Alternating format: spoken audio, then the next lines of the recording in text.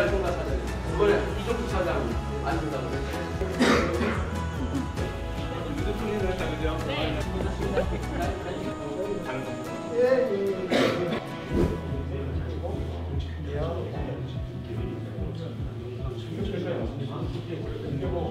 아, 오늘 행사는 저희 가락동에 있는 도매법인과 공판장이 그 농어촌 상생기금이라는 것을 모아서 기증하는 그런 행사가 되겠습니다. 가락동에 그 네 개 법인과 한 개 농협 공판장이 다섯 개 사가 모여서 농어촌 희망재단을 통해서 상생기금을 출연하고 출하주를 위한 실제 출하주에게 도움이 되고 출하주에게 필요한 것을 지원코자 저희들이 모으게 된 것입니다. 저희들이 가락시장이 개장한 이래 여러 지역을 통해서 농산물을 위탁받아 경매를 하다 보면 그 너무도 어려웠던 사연들, 필요한 부분들을 많이 발견하게 됐습니다. 그때 한 회사만 하기에는 너무 버거운 부분도 있었고 저희들이 그분을 도와드려야 되는 필요성을 많이 느끼게 되다가 그런 공감대가 점점점 모이다 가서 저희들이 ESG 경영이라는 게 대두되게 되었습니다. 그래서 기업이 사회에 대한 기부와 공여라는 주제를 가지고 다시 한번 저희들이 모여서 회의할 때 이 기금을 출연토록 하는 것이 최선의 방법이고 좋은 선택이라고 결정하게 돼서 오늘 시작하게 된 것입니다.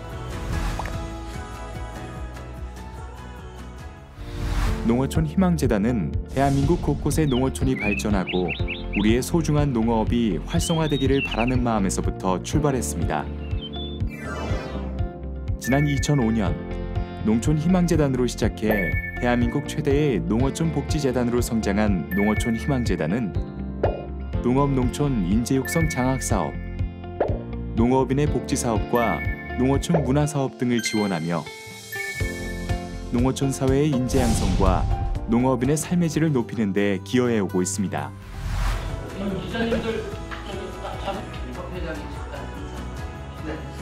어, 생산자부터 소비자까지 유통 책임만은 우리 100%또 형은 생산자고 또 아우는 아, 소비자고 제가 둘째 형으로서 열심히 역할을 다할 것에 대해서 약속드리면서 인사드리겠습니다. 고맙습니다. 그 물류 개선에 대해서 저희들이 상당히 신경을 쓰고 있습니다. 최근에는 그 어렵다는 배추를 파레토화했습니다. 또 금년에는 제주도 출하주들하고 협의를 해서 제주도의 감귤을 파레토화를 성공했습니다. 2016년부터 2020년까지 짧은 기간이었지만 계속 지금 하고 있지만 우리 이사장님이 농림부 차관 계실 때 16만 6천 평원을 정확히 얘기하시더라고요. 16만 6천 평도 이제는 물량이 늘다 보니까 좁습니다. 한 평을 열 평으로 쓸 수 있는 방법은 물류 개선밖에 없어요. 그 물류 개선은 정부의 지원금 받, 받다 보면은 하세월이 가서 저희들이 직접 솔선수범해서 할 수밖에 없다.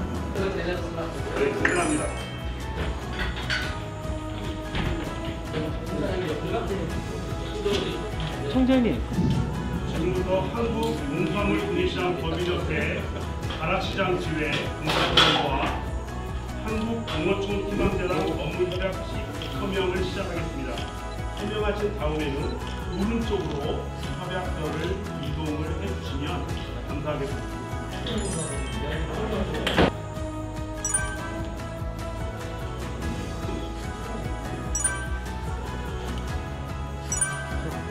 문불랑 부분 하나고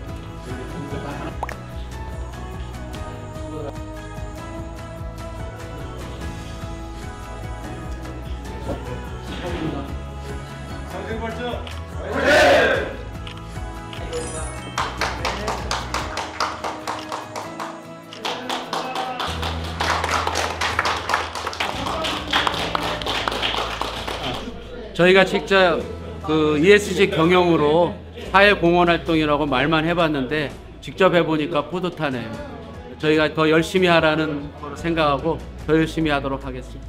저희들이 기부만 하는 것이 아니라 또 타 단체들이 어떤 기부를 하고 어떤 봉사를 하는지 벤치마킹도 해서 새로운 기부, 새로운 방법, 또 그 효과를 극대화할 수 있는 방법들을 재단하고 같이 상생 협조하면서 연구하는 기부가 될 수 있도록 많은 노력을 하도록 하겠습니다.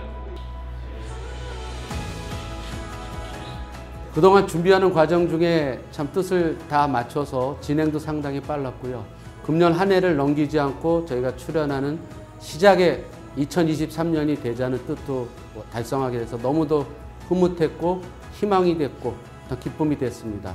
처음은 저희가 작은 돈으로 시작하지만 2024년, 25년 해마다 하나하나 쌓여가면서 그 저희들의 작은 정성이 모여서 우리 농업 발전, 또 출하조 발전, 농촌 경제를 위해서 큰 도움이 되도록 최선을 다해서 노력하도록 하겠습니다. 상생발전